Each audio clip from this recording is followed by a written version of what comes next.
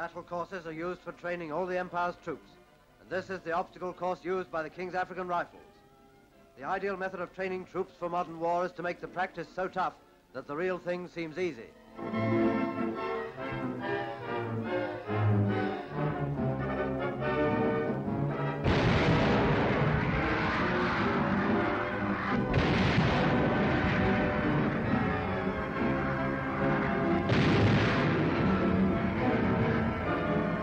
This course is situated 6,000 feet above sea level.